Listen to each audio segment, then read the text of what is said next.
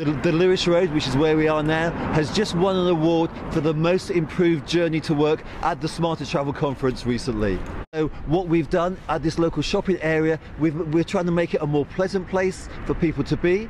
We're, uh, we're so just introducing some seats, introducing some planters, and trying to make it a place where local shops and local businesses are going to thrive, and people want to stay and spend their money. And that's exactly what's happening here. Further up from here is the dual carriageway, which runs out to the universities. Uh, which, you know, as I say, we've got about 60,000 people travelling along there every single day.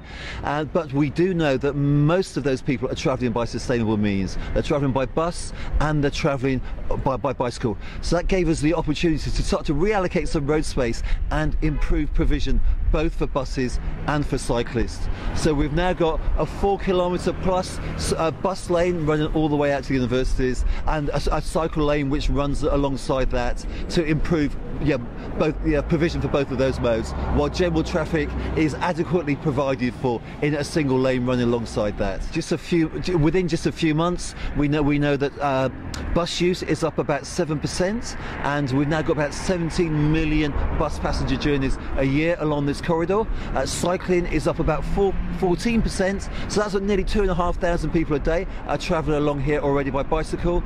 Uh, so yeah, that's really really positive news, and I, I'm sure that yeah, with the summer coming, even more people are going to start to enjoy cycling along here.